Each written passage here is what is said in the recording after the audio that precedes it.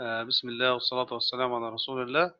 آه، هنستكمل آه، موضوع how to draw bending moment and shear force diagram for beams.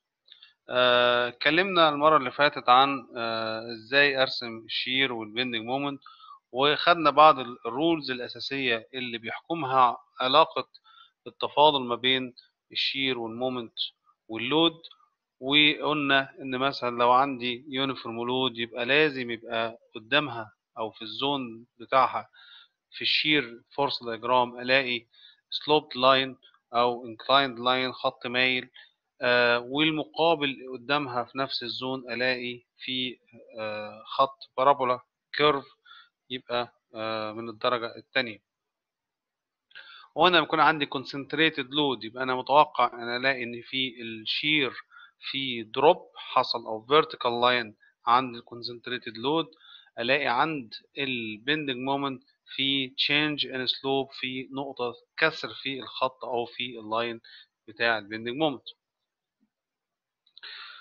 وأخدنا المثال ده المرة اللي فاتت. المثال ده كان مفهوش فيه حاجة مختلفة. إحنا كان قلنا إن إحنا عايزين نأكد على point مهمة. في هذا المثال إن أنا لما بتعامل مع ال uniform load أنا بحترم ال stations اللي موجودة عندي. بمعنى إحنا قلنا ال points اللي أنا بحسب عندها أو ال stations اللي أنا بحددها عشان أبدأ أحسب عندها هي ال points of change in load وال supports فدي النقط اللي أنا محتاج أحسب عندها. فبالتالي أنا محتاج لو عايز أحدد ال stations بتاعتي كده يبقى أنا عندي آه فين؟ يبقى عندي أول station هنا كده أهي الخط الأولاني ده وهنا دي station عشان في عندي concentrated load موجود.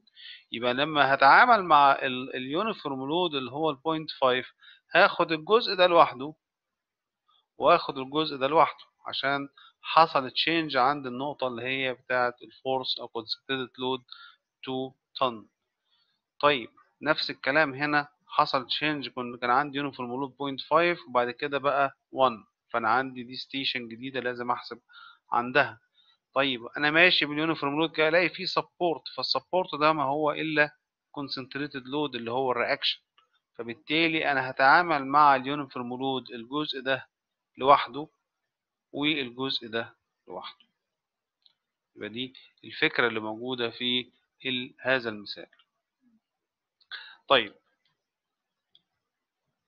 المثال التاني اللي جاي دون. اولا أنا عندي beam 3 span يعني إيه span ال span اللي هو المسافة بين two supports أنا عندي آت span 2 3 3 spans طيب ولكن الجديد عندي هنا إن أنا في عندي intermediate hinge موجودة في هذه النقط عند نقطة E. and point E and point F. طيب نفس الكلام اللي إحنا قلناه وإحنا بنحل ال reactions في في بداية ال chapters خالص فكنا بنقول إن لما يكون عندي intermediate hinge فحاجة من الاتنين يا إما هفصل عندها وأطلع ال internal forces اللي فيها وأتعامل على هذا الشكل أو إن أنا آخد الشرط بتاع أو الميزة بتاع إن ال bending moment at this point equal zero. From left side or from right side. يبقى أنا حاجة من الاتنين. يا إما هتعامل مع ال hin مع ال beam دي هبدأ أفكها. ولكن لما أجي أفكها لازم يبقى كل part مستقل بذاته. يعني عندي ال part اللي هو F D ده هاجي أفك هنا كده. أو أنا عندي فيه beam بهذا الشكل. عبارة عن أو ناخد الحتة الفاضية اللي تحت دي. ناخدها هنا كده. يبقى أنا عندي فيه الجزء اللي هو F D يبقى F D عبارة عن two reaction عشان هي hinge F X و FY وعندي هنا roller وعندي هنا concentrated load دون قلنا دايما لما يكون عندي inclined force بحللها. دي هنا المفروض آه، دي كانت كام دي؟ دي أعتقد كانت خمسة. خمسة طن فهحللها يبقى عندي في عندي force 3 طن وعندي force 4 طن طيب اخد ال part التاني اللي هو من أول F لغاية C لغاية أبدأ أفصل فين هقدر أفصل فين؟ يبقى أنا هقدر أفصل هنا وأقدر أفصل هنا. دي ال intermediate hinge اللي بقدر أفصل عندها يبقى لما أجي هفصلها هفصلها بهذا الشكل. عندي هنا ال roller اللي عند point C وعندي نقطة آه نقطة مين؟ اللي هي نقطة E. نقطة E اللي هي هنا؟ يبقى عندي هنا two reaction EX و EY عندي uniform load موجود على ال part ده كله ما بين E و F. عبارة عن 1 طن متر عند ال reaction إن في reaction طبعا عند نقطة D DY عندي reaction عند نقطة C CY عشان هي roller ما ننساش إن النقطة اللي هنا دي نقطة F هي نقطة مشتركة ما بين النقطة دي والنقطة دي ما بين ال part FD وبين ال part EF فبالتالي ال reactions اللي هنا هم هم نفس ال reactions اللي هنا ما ننساهمش ولكن the same value ولكن in opposite direction. يبقى عندي هنا FX نفس القيمة اللي فوق ولكن وهنا F Y نفس القيمة نفس القيمة. دي كده نطلعها فوق شوية عشان متلخبطناش يبقى عندي هنا FX ولكن في ال opposite direction يبقى دي إيه؟ آخد آخد ال part ده وآخد ال part ده. فاضل مين؟ ال part الأخير اللي هو ما بين A وما بين ال E يبقى هاخد ال part الأخير ده كده. A و B. عبارة عن roller وعندي concentrated load هنا. وعندي 3 طن هنا. ودي كانت كام دي؟ مش عارف في أرقام ممسوحة. ندور عليها. آه وبعد كده عندي آه طبعا نفس الحدوتة نقطة E هي نقطة مشتركة. في عندي جزء uniform load ما بين ال B وال E اللي هو الواحد طن متر. وعندي ال reaction عند نقطة ال A وال reaction عند نقطة ال B. وعندي ال EX هنا وال EY the same value ولكن in opposite direction. يبقى عشان أتعامل مع كمرة زي دي لازم أفكها بهذا الشكل ده حل. وبالتالي أنا عشان أوجد ال reactions يمكن أخدها بالترتيب اللي أنا رسمه ده من فوق لتحت عشان كل واحد هيرمي على اللي تحته. ببدأ أشوف كل beam supported على مين. يعني الجزء FD ده هو rested على الجزء اللي هو F EF sorry تمام. وال EF برضه rested على ال E في الآخر. يبقى ده rested على ده و rested على ده. ال AE في الآخر. يبقى أنا هحل الجزء دون sigma ال force اتجاه ال X sigma ال force اتجاه ال Y sigma ال moment جبت عندي 3 equation و 3 unknowns. جبت ال DY FX FY جبت ال FX وال FY هنقلهم الناحية التانية. يبقى تحول الجزء اللي هو EF بدل ما كان فيه واحد اتنين تلاتة أربعة خمسة 5 unknowns. بقى, عندي دلوقتي 2 3 unknowns فقط اللي هو ال CY وال EY وال EX يبقى أنا دول أنا جبتهم خلاص. هجيب ال CY وال EY وال EX آخد ال EY وال EX أعكسهم هنا. يبقى هيطلع لي يبقى عندي ال reaction AX والAY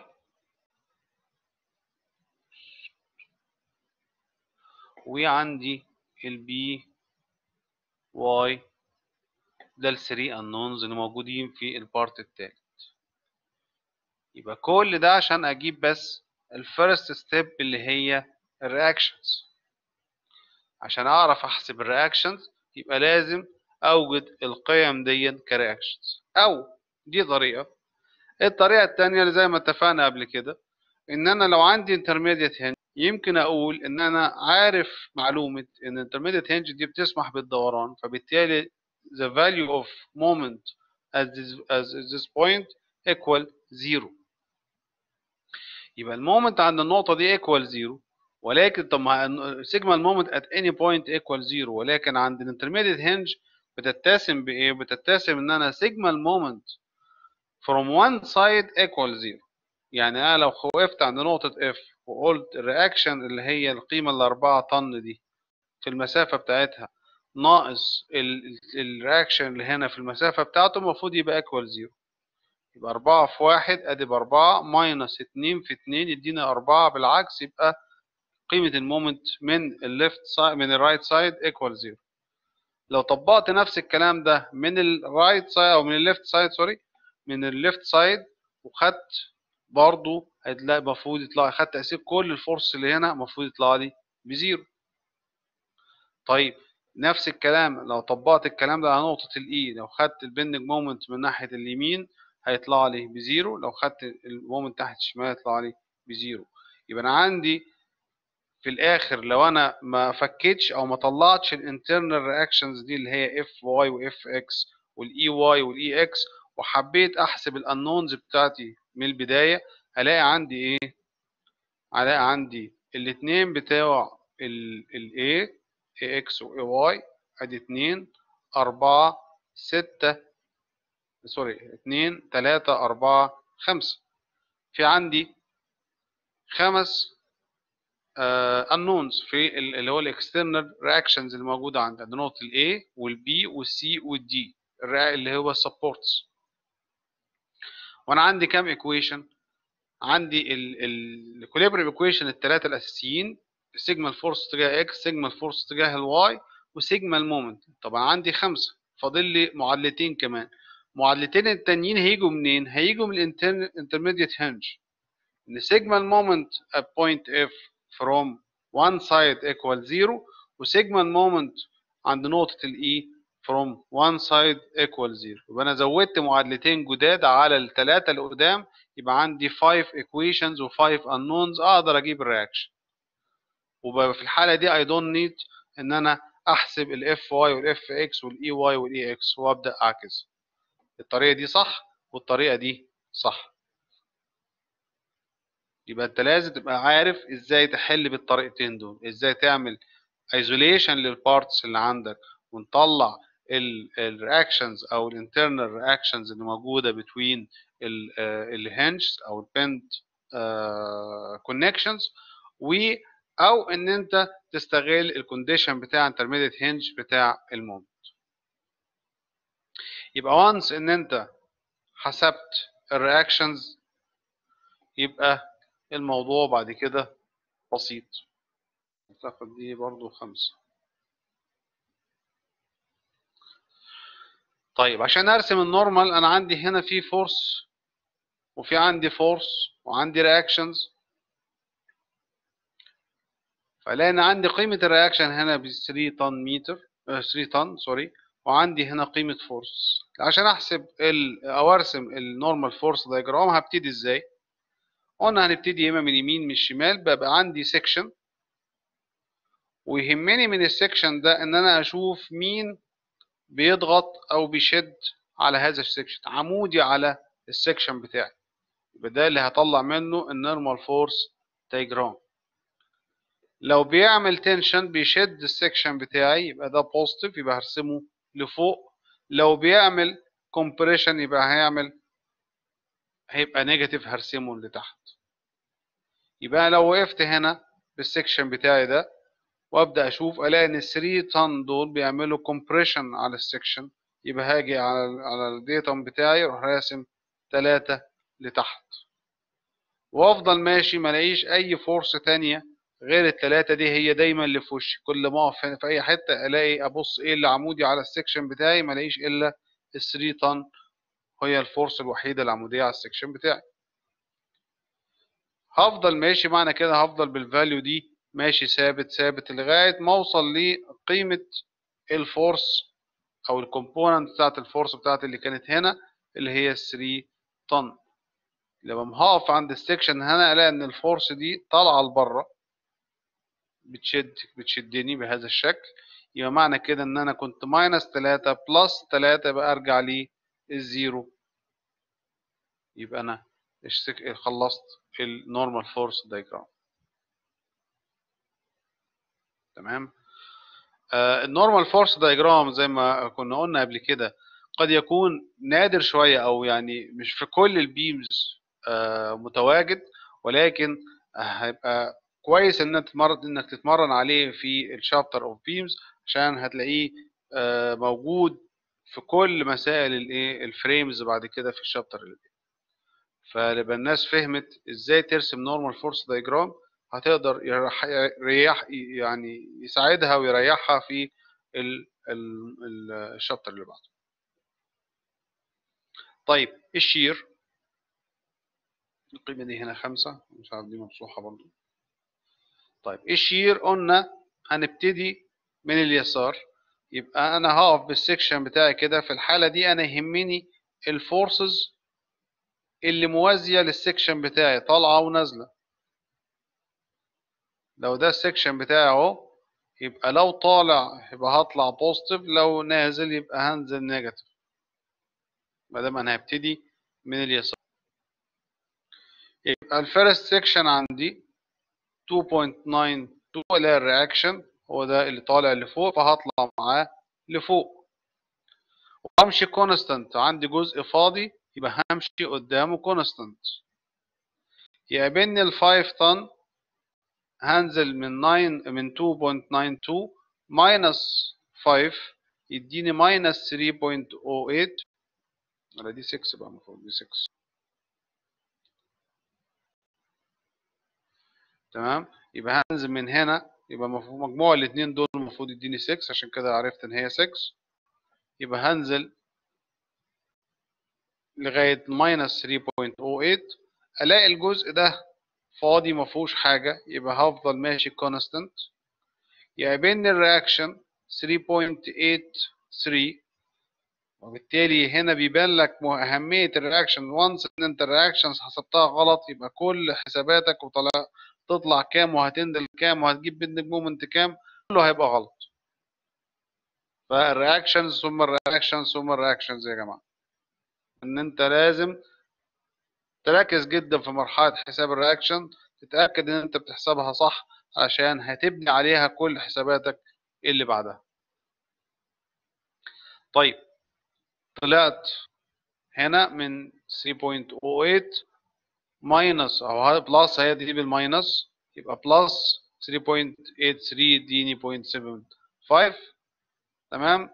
ألاقي في عندي uniform load فعندي uniform load يبقى هحسب في الأول وهحسب في مش في الآخر بقى هحسب عندي في station هنا وقفتني يبقى لازم أقف عندها هنا يبقى هحسب في الأول هنا واحسب في الآخر هنا ألاقي أنا كنت عندي هنا 0.75 ناقص 1 multiplied 3 اللي هو 2 و1 يبقى 3 يبقى عندي 3 يديني 0.75 ناقص 3 يبقى 2.25 negative يقابلني ال reaction هطلع من minus 2.25 هطلع لفوق ألاقي بقى عندي 3 ألاقي بقيه ال uniform load اللي عندي 1 multiply 1 يبقى هوصل من 3 هنزل ل 2 ألاقي جزء فاضي همشي فاضي بهذا الشكل.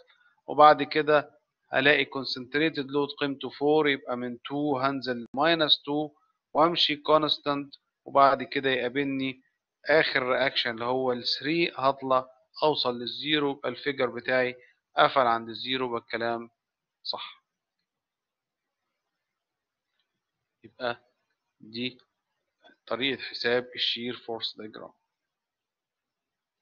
ال bending moment diagram يبقى يهمني جدا إن أنا أكون محدد ال stations بتاعتي اللي أنا هقف عندها وأحسب.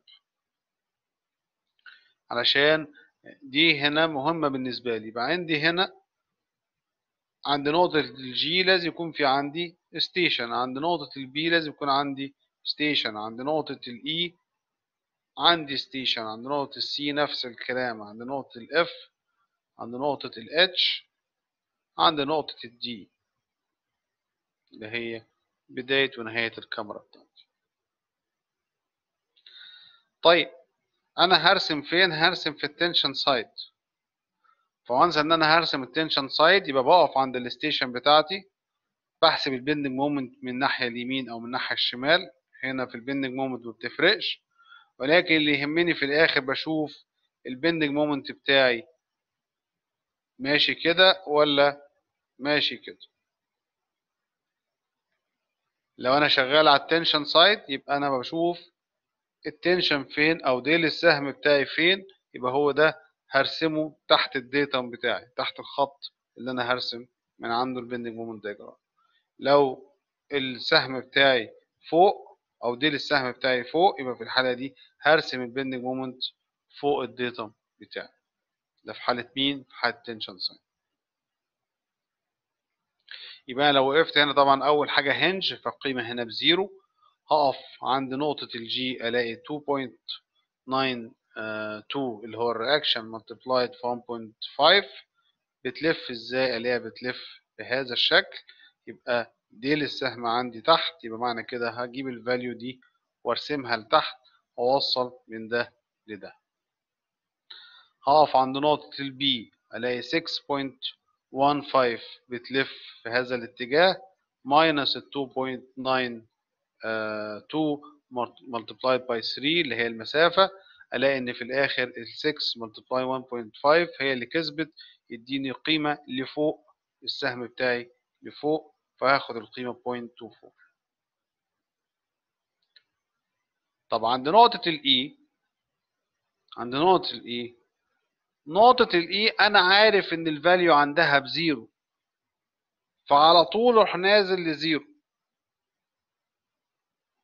يبقى لو حضرتك رسمت لي أي value هنا يبقى ده اعتبره fatal mistake واعتبر إن أنت مش فاهم حاجة في أي حاجة ويبقى السؤال كله هيتشطب عليه يبقى وانس إن في عندك intermediate hinge على طول توصل ليها لزيرو قدام نقطة F دي ألاقي نقطة زيرو قدامي قلنا نقطة E ألاقي في زيرو قدامي. يبقى even حتى لو حساباتك غلط يبقى على الأقل وضح إن أنت فاهم هذه المعلومة. لو أنت لازم تبين إن قدام intermediate hinge you have to find a zero value in the bending moment diagram. تمام؟ يبقى عندك هنا ال value هنا جبت هنا 2 روح جايب من الاثنين موصل للزيرو جبت هنا ال 0.24 تروح موصل بالزيرو عند نقطة الايه intermediate hinge. وبعد كده هبدأ أحسب عند ال station اللي بعدها اللي هي نقطة C وأبدأ أحسبها من اليمين أحسبها من الشمال هتطلع لي point اتنين ونص. طيب لما أجي هوصل من اتنين ونص للزيرو أو لو هوصل point two four للزيرو الجزء دون مش مش فاضي مش زي الجزء ده. يبقى معنى كده ما أقدرش أوصل ب straight line ما أقدرش أوصل ب straight line طب هعمل إيه؟ يبقى معنى كده هوصل بخط خفيف كده أو خط عمل وأعمل أنزل ب parabola عبارة عن ال w في L square على 8 الدبليو في الحالة دي من النقطة اللي أنت تحسبها لغاية النقطة اللي أنت بتحسبها. يبقى آدي الدبليو عندي ب 1 طن per متر ال length 2 متر يبقى ال L بتاعتي ب 2 power 2 على 8 اللي هي ال factor بتاعي أو ال constant بتاعي. w L square على 8 يديني 0.5 بمعنى كده أروح نازل في النص هنا 0.5 وعندي النقطة دي بزيرو النقطة دي باتنين ونص أروح موصل بال three points دول ب curve أو parabola بهذا الشكل. نفس الكلام بالنسبة لل C F لما هوصل من هنا هنزل ب parabola بهذا الشكل. يبقى دايما لما هاجي هحسب بحسب عند الايه ال بشوف لو عندي جزء فاضي يبقى هرسم ال bending moment بتاعي straight line لو عندي uniform load يبقى لازم هيبقى curve من الدرجة الثانية parabola فبرسمه بدلالة ال w L square على 8 بنزل ال parabola بتاعتي وأوصل وأرسمها بهذا الشكل.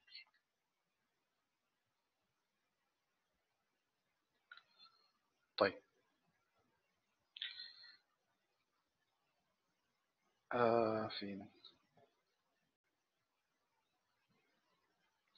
هنا في آه note مهمة جدا. بتفرق في اتجاه ال load بتاعي وقيمة ال bending moment اللي أنا بحسبها. لو عندي inclined beam عندي beam مايلة بهذا الشكل. زي مثلا عندك سلم عندك ramp عندك أي شيء مايل. فأنا عندي 3 cases لل uniform load يمكن تتواجد على الكمرة دي. ال case الأولانية ناخدها كده من اليمين عشان تبقى الدنيا واضحة. ال case الأولاني أنا عندي لو عندي خط مايل بهذا الشكل فأنا عندي two lengths في length اللي هو بنسميه ال projected length اللي هو بنسميه في الحالة دي ال L اللي هو الإسقاط الخط AB على الأفقي. Projection of AB on horizontal line. تمام؟ وعندي الطول المايل نفسه of part AB المسافة بين ال A وال B على المايل اللي هو هنسميه L dash طيب. يبقى أنا عندي 3 cases للحالة دي. يمكن يبقى ال uniform load عمود على ال line أو ال inclined surface أو ال inclined beam اللي عندي. يبقى الحمل عمودي عليه وبالتالي أنا في الحالة دي ما دام الحمل بتاعي يبقى المحصلة بتاعه الحمل ده عبارة عن W في ال dash يبقى أنا عندي الحمل وال resultant كمان هتبقى عمودية على ال surface بتاعي.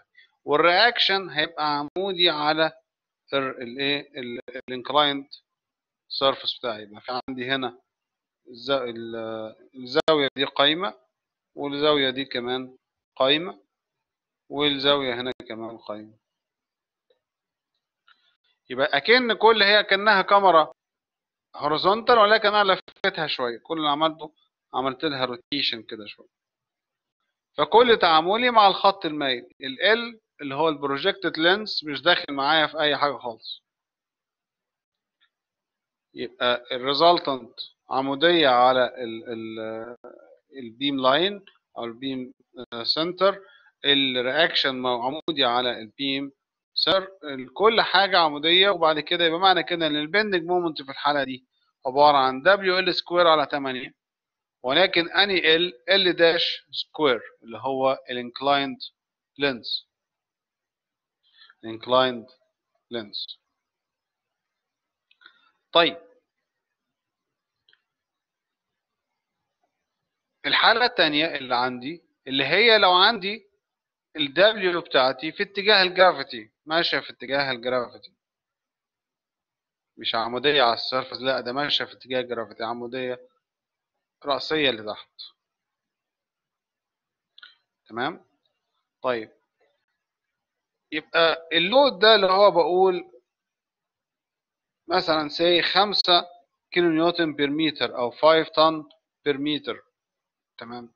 Which meter I speak about which meter هل متر من ال L dash ولا متر من ال L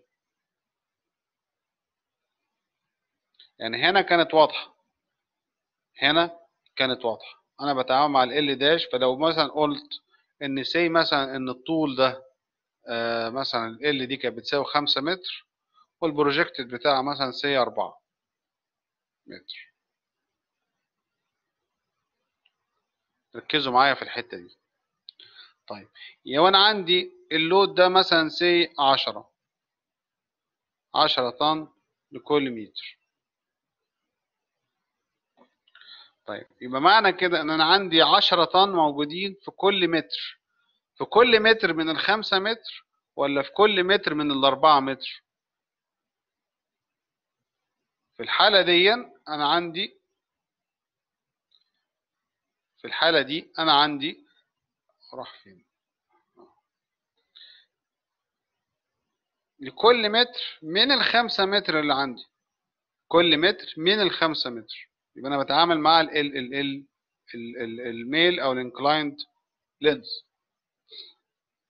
طيب لو طبقنا نفس الكلام ده هنا. أنا عندي ال L ده بأربعة وال L ده بخمسة وال load عندي بعشرة طن. كل متر هنا بقى الميتر دي 1 meter from ال 5 ولا 1 meter from ال 4 فهنا هيظهر لي حاجتين. لو ما كتبش حاجة أو ما قالش أي شيء هو بيتعامل مع أني L فال default بتاعي إن هي من ال L dash من ال L dash يعني عندي 10 طن لكل متر كل متر of from ال 5 متر of inclined surface أو inclined length وبالتالي ال reaction هيبقى عبارة عن W في L dash على 2 يعني المحصلة عبارة عن W في L dash ال total نصها يمين ونصها شمال. يبقى W في L dash على 2 و W في L dash على 2 وال direction بتاعها فين؟ ال direction بتاعها ماشي مع نفس اتجاه الايه؟ ال resultant ال resultant رأسية فبالتالي ال reaction هيبقى برضو رأسي ولكن في عكس الاتجاه طبعا. يبقى هنا الحمل كان عمودي على ال surface فبالتالي ال reaction كان عمودي على ال surface أو عمودي على ال beam بتاعتي. هنا ال load ماشي في اتجاه ال gravity فبالتالي يبقى ال reaction برضو رأسي ولكن عكس اتجاه ال gravity قيمة ال bending moment هنا بقى بتساوي إيه؟ بتساوي W في L في L dash على 8 مش L square باخد L اللي هي مرة الأربعة ومرة الخمسة على 8 W في L في L dash على 8 تمام؟ يبقى ده قيمة ال bending moment في الحالة دي. طيب إيه الفرق بين الحالة B والحالة A الحالة A بتاعتنا هو نفس الكلام بالظبط الحمل بتاعي مرسوم في اتجاه ال gravity وال ولكن كتب لي كده كلمة أو في indication كده بيقول لي إن ال load ده HP يعني إيه HP؟ HP اختصار horizontal projection. Horizontal projection يعني ده أنا بتعامل مع ال projection length ولست أتعامل مع ال inclined length. يبقى العشرة طن لكل متر from which length يبقى متر من الأربعة متر في الحالة بتاعتنا دي أو المثال بتاعنا يبقى لكل أربعة متر لكل متر من الأربعة في حمل مثلا عشرة طن. كل متر من الأربعة اللي هو ال projected length. يعني ال project يبقى هنا ألاقي إن التعامل بتاعي W L square على 8 يبقى W L square على 8 اللي هو التعامل مع ال projected length هنا التعامل مع ال inclined length الحالة دي.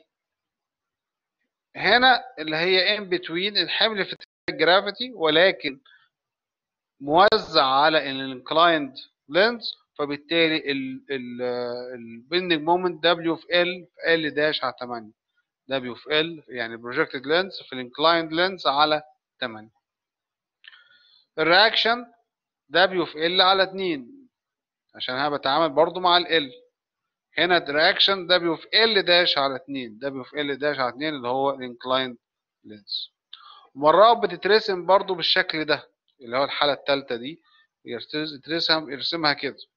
يبقى عندي الكاميرا بتاعتي كده.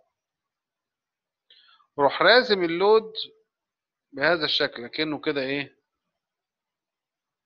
كأنه طاير في الهواء بس هو مش طاير في الهواء ولا حاجة. ولكن بدل ما يقول لك إن أنا شغال على ال length المايل ده أنا شغال على ال length الافق ففي الحالة دي ما بيكتبش horizontal projection. بس هو بيرسمه لك كده يبقى كاتب هنا W طن لكل متر مثلا أو كيلو نيوتن لكل متر يبقى يمكن أرسمها بالمنظر ده. أو أرسمها رسمة عادية إن الحمل بتاعي موجود على الكاميرا ولكن بكتب جنبيه horizontal projection يبقى الحمل ده بيتعامل مع ال length ال projected مش ال projected length مش الايه ال inclined length اللي عندي.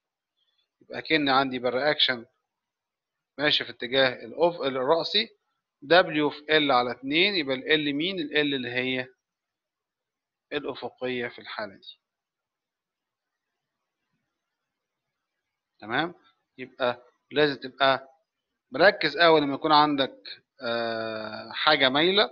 فهبدأ أشوف أنا عندي أنهي case من دول. هل ال case بتاعتي horizontal projection ولا الحمل بتاعي في اتجاه ال gravity ولا الحمل بتاعي عمودي على ال inclined beam بتاعتي؟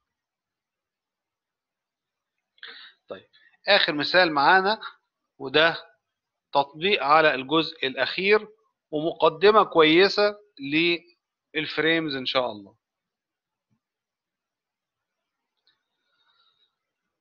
أول حاجة عندي أنا عايز أرسم ال bending moment وال shear وال normal force diagram للكاميرا دي. عندي كاميرا broken 1 كده عاملة بهذا الشكل. الحمل بتاعي في اتجاه ال gravity كله. تمام يبقى لما هاجي هتعامل معاه لما هاجي هتعامل معاه يبقى هبدأ أشوف الطول ده تلاتة والطول ده sorry ده الطول ده أربعة والطول ده تلاتة يبقى الطول المايل ده يبقى عندي الطول ده عبارة عن خمسة يبقى محصلة الحمل ده عبارة عن إيه؟ واحد الواحد اللي على المايل دون هاخد الخمسة ولا الأربعة؟ أولا هو في اتجاه ال gravity تمام؟ ومش كاتب horizontal projection. يعني في الحالة دي هتعامل مع الخمسة ال inclined length يبقى ال total length عندي واحد وخمسة وواحد يبقى ال total 7 تمام؟ 7 متر يبقى المحصلة بتاعتي 1 multiply 7 يبقى المحصلة كلها عبارة عن 7 طن نصها يمين ونصها شمال يبقى 3.5 و 3.5 طن ده ال reaction طيب. sigma ال forces في اتجاه ال X equal 0 يبقى معنى كده إن ال reaction في X equal 0 مفيش حاجة عندي. جميل. طيب لما أجي بقى أشوف أتعامل عايز أجيب مين؟ ال normal force diagram وأنا ال normal force diagram دايما كده راسم ال section بتاعي. يبقى أنا بتعامل مع حاجة عمودية على ال section tension تبقى positive compression تبقى negative ولكن لما يكون عندي inclined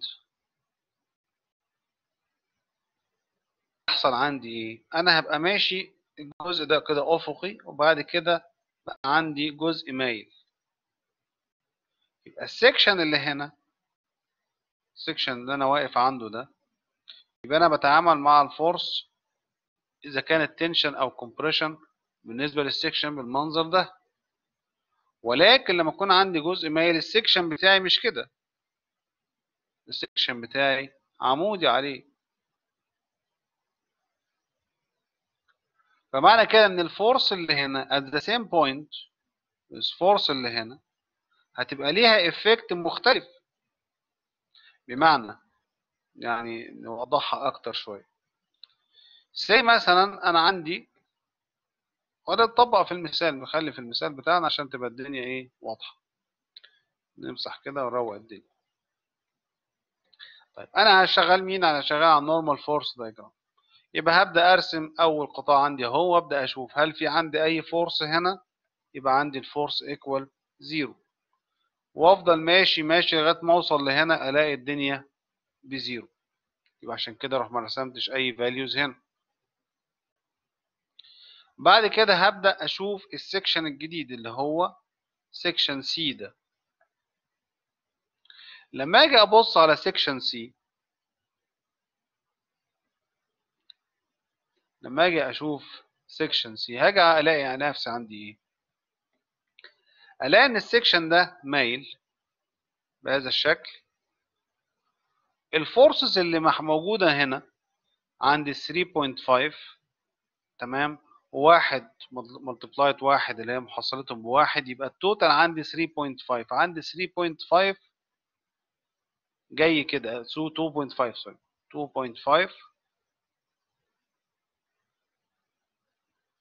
جت بهذا الشكل. عند ال section فين؟ ال section عند نقطة C ده. ال section ده كده.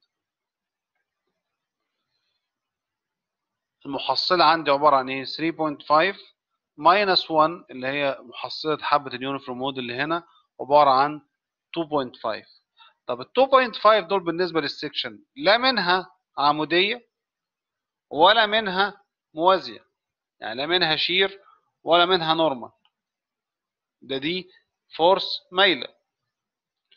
ففي الحالة دي القيمة ال 2.5 دي هيبقى ليها two component يبقى عندي ال section كده وال force بتاعتي. يبقى ليها component موازية لل section و component ثانية عمودية على ال section يبقى أنا هشيل ال force دي وأجيب ال two components بتاعتها. مرة cosine الزاوية ومرة sine الزاوية. تمام؟ يبقى أنا عندي آدي ال section بتاعي ده وآدي ال part ده كان الزاوية دي سيتا يبقى الزاوية دي سيتا تمام؟ يبقى كمان الزاوية دي سيتا يبقى معنى كده إن عندي اتنين ونص cosine theta واتنين ونص sine theta اتنين ونص cosine theta واتنين ونص sine theta theta هجيبها منين؟ أنا عندي ال values بتاعتي واضحة هي مثلث أهو 3 4 5 الموضوع بسيط. 3 4 5 فال cosine theta هو المجاور على المقا... على الوتر يبقى 4 على 5 2 ونص في 4 على 5 يبقى عندي 2 ونص في 4 على 5 يبقى عندي أدي نص يبقى دي بتديني 2 وال sine 2 ونص في sine theta في 3 على 5 هتديني واحد ونص. يبقى ألاقي عندي في ال section C ده بقى فيه compression force قيمته واحد ونص. وعندي shear force قيمتها كام؟ قيمتها اتنين. بالرغم إن قبلها بسنتي اللي هو ال section اللي كان رأسي كان قيمة ال normal ب zero. once إن أنت لفيت وبقيت عمودي على ال section على القطاع المايل بقى عندك component لل force بتاعتك واحدة shear وواحدة normal فبالتالي طلع عندك normal force قيمته واحد ونص. لما تيجي تحسب الناحية التانية نفس الكلام لو جبت محصلة كل الكلام اللي هنا من ناحية الشمال أو جبتها من اليمين it's up to you. هيطلع لك برضو محصلة ال force اللي عندك عبارة في الحالة دي تطلع tension عبارة عن واحد ونص طن وتوصل اتنين ببعض. يبقى أنا عندي الجزء متغير بدأ عندي tension وعمال يتغير لغاية ما قلب ل compression تحت. قلب ل compression تحت بهذا الشكل. فهمنا الموضوع في حالة ال inclined التعامل معاه إزاي؟ في حالة الجزء المايل أتعامل عند ال change في ال slope إن أنا هاخد المحصلة عند ال point دي ويبقى ال force بتاعتي بحتاج إن أنا أجيب ال components بتاعتها موازية لل surface أو لل section وعمودية على ال section بتاعي. ال shear الجزء اللي على اليمين والجزء اللي على الشمال اللي هو ال horizontal ده التعامل معاه بسيط. 3.5 ادي 3.5 وهنزل واحد في واحد يبقى هنزل اتنين ونص. تمام؟ يبقى أنا كده وصلت لغاية النقطة دي. لما أجي هقلب هنا يبقى هتعامل مع الجزء ده. اللي هو الجزء ده sorry. اتنين ونص cosine theta اللي هي طلعت معانا اتنين. يبقى هلاقي عندي اتنين. وبرضو هلاقيه هحسب في أول وفي الآخر وأوصل الاتنين ببعض. يديني شكل ال shear بالمنظر ده. عايز أرسم ال shear. لو بدأت من الناحية اليمين يبقى هعكس الاتجاهات. يبقى الاقي تلاتة ونص طالعة لفوق يبقى هنزل لتحت تلاتة ونص. واحد يبقى نازل لتحت يبقى هطلع لفوق. واحد كمان يبقى اتنين ونص. يبقى عندي ال section ده نفس الفكرة وال section ده. يبقى المحصلة هنا برضو اتنين ونص هتطلع shear هتبقى ليها two component shear و normal force shear و normal force يبقى أنا هتعامل مع ال section اللي فوق ده كده وألاقي في عندي محصلة ال force اللي عندي عبارة عن اتنين ونص طن يبقى ليها component في اتجاه ال X وليها component في اتجاه ال Y عشان كده طلعت هنا tension tension طلعت هنا.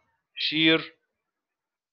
shear طالع لفوق من الناحية اليمين فعشان كده هرسمه لتحت في حالة إن أنا برسم ال shear force diagram ال bending moment. ال bending moment هنا ما يهمنيش القصة قوي عشان أنا عندي tension و compression أنا بشوف سهم ما عنديش موازي أو عمودي على ال surface بتاعي.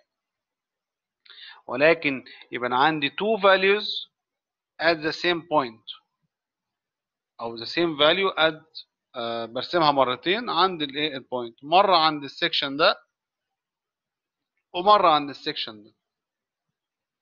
ولكن دايما ال bending moment بتعتمد على المسافة وبالتالي ما عنديش أي تغير في المسافة عند the same point. وبالتالي محصلة الكلام ده تلاتة ونص في واحد يبقى عندي بتلاتة ونص. ناقص واحد في واحد في نص اللي هي محصلة ال load ده واحد في واحد في المسافة اللي هي نص يبقى عندي تلاتة ونص ناقص نص اديني بتلاتة. بتلف إزاي؟ بتلف في هذا الاتجاه. يبقى ال tension عندي فين؟ ال tension عندي تحت. يبقى أنا هرسم ال tension لتحت. طب لما هقف عند ال section الجديد ده نفس نفس المعادلة ما اتغيرتش. تلاتة ونص في واحد ناقص واحد في واحد في نص يديني برضو 3 ولكن هرسمها عمودية على الايه؟ ال direction الجديد.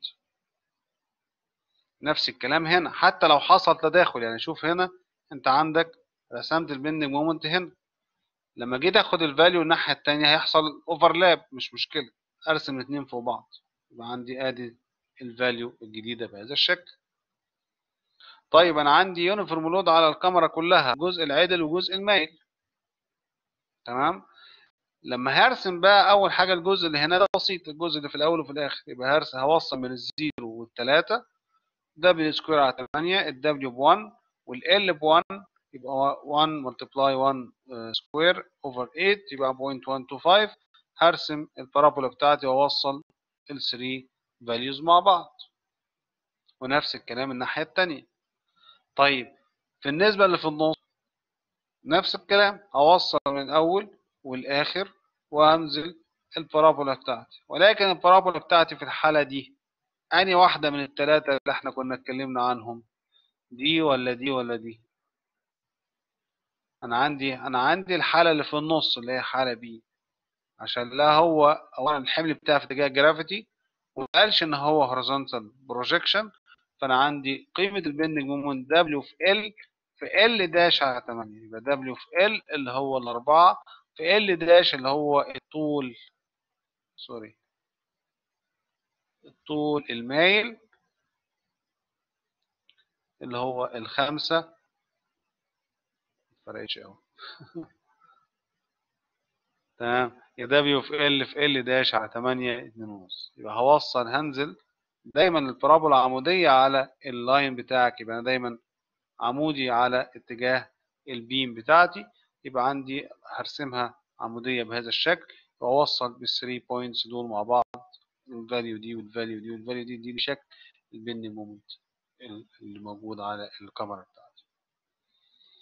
يبقى لازم أبقى فاهم التعامل مع الخطوط المايلة هتعامل معاها إزاي ال beams ال broken beams أو ال inclined beams يبقى يهمني فيها حاجتين. اولا عند ال change في ال slope أو في التغير أو في الكسرة اللي حصلت في الكمرة في الكمرة بتاعتي يبقى ال section الجديد ده أنا دايما بتعامل مع section عمودي على ال beam center line فبالتالي أنا هبدأ أتعامل مع ال bending moment وال shear وال normal تمام؟ بالنسبة لل section العمودي ده. فأنا على الجزء المايل ال values ال force اللي كانت بتعمل shear فقط أفقي آه sorry رأسي بقت ليها component بقت ليها component زي ما إحنا راسمين هنا كده بقى ليها component في اتجاه ال X و component في اتجاه الواي كومبوننت في اتجاه الاكس وكومبوننت في اتجاه الواي يبقى في الحالة دي لازم آخد. ال forces عليكم السلام يا دكتور الاختبار يبدأ بعد دقيقة ولا كيف؟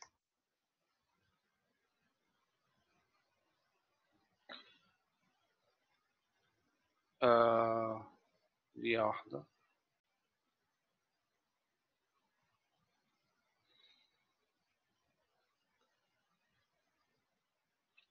هو خلاص هيبتدي آه فعلا. طيب أنا هقفل بس وبعد كده إيه نبدأ مفيش مشكلة. ودي آخر حاجة قلنا بس دي إيه تأكيد على الكلام اللي إحنا تقفيل بس على الكلام اللي إحنا قلناه إن إحنا حالة ال inclined surface أنا بتعامل مع ال section العمودي على ال- الخط بتاعي وبالتالي أتعامل مع ال components اللي عندي. يا شباب نقفل على هذا آه، لغاية هنا ويبقى نناقش الموضوع ده. لو في أي أسئلة المرة الجاية إن شاء الله. السلام عليكم.